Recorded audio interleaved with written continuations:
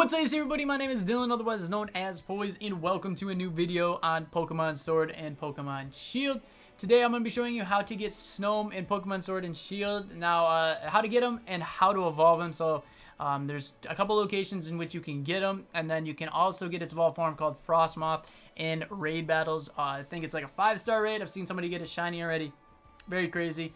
Um, so you can get in raid battles, just, but if you wanted to get it for your dex, how, this is gonna be how to, I'm gonna show you a couple locations. We're gonna go to the uh, habitat, and you can look up here and it'll show indication. So you can go in between Route 8, right here you can see, um, it has a location here between Route 8 and uh, what is this? It's the city. I can't think of off the top of my head.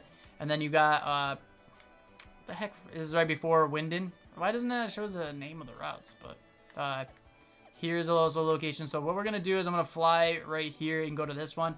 Um, definitely you can figure out. So later in the game, it also can be in the wild area in the Lake of Rage, Lake of Outrage. So that's another spot you could actually get it, um, just based on weather at that time. But these ones would be a general area you would go. I believe it's a grass, a grass encounter. I'm not 100% certain, but we're to go ahead.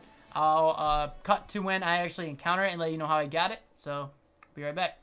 Okay, so we're back here. I'm on Route 8, like I told you, and uh, you can actually see it in the actual grass here. Right here is the doesn't move very fast, so you can actually get it. Um, so that's probably the best way. It's Route 8. It's an encounter here. You got Snom. Uh, the other one's a little bit higher, like I said, when you go into it before you get to Wyndon.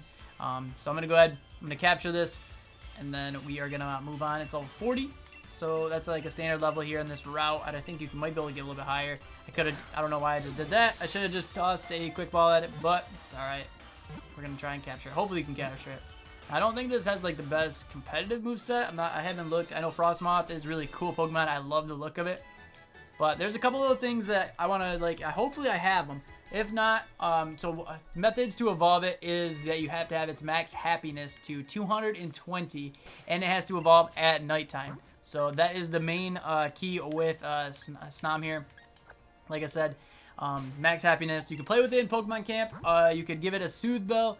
There is also a way where you can go to your berries and they give you, when you do a bunch of raid battles, uh, they give you uh, these berries that will uh, increase your friendship and then you only have to do about like 20 of them, but it can also lower certain stats. But it doesn't look like I have the berries um, necessarily. I don't think I do. Um, nope, I do not have... Oh, right here, right here. So it says right here, a berry consumed by this Pokemon using it. A Pokemon makes it more friendly, but lowers its special defense. This one says a berry that consumed by Pokemon can lower its Pokemon's, uh, make it more friendly, but lowers its defense. So these berries do come in, can't come in handy, but like I said, it will lower a stat of your Pokemon. If you only give 20 of them, it can evolve. You can play with it in Pokemon Camp, get its happiness up, and uh, I'll let you know when, I'll cut to when we actually get its happiness all the way up. I'm going to give it a couple berries. Um, I don't think, however, that it's going to only like three. I, I, used 20 before and I got it. And that's how I, or how I got, um, not just a Snom, but I got other things as well as uh, Savali is how I got one. So uh, I'll cut back to when we actually evolve this thing and hope you guys, you know,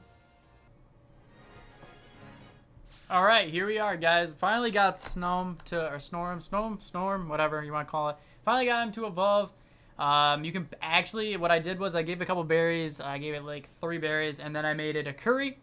Curry and played it, like played with it in the camp. It's actually really fast. I mean, if you literally just give it a curry, I think it, it's faster in that opinion. So um, it has to, like I said, max happiness of 220 at nighttime to get uh, Frosmoth here. Very beautiful Pokemon. I cannot wait to uh, get it in the future for shiny hunting.